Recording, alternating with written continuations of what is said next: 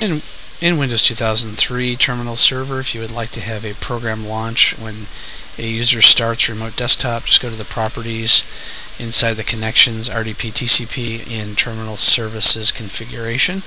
Click on the environment and check the box that says run initial program specified by the user profile and click apply. Then when the user starts remote desktop, they can check the box that says start the following program on connection and from here they can run any program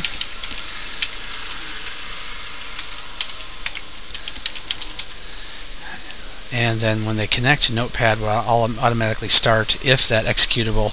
is sitting in the Windows directory.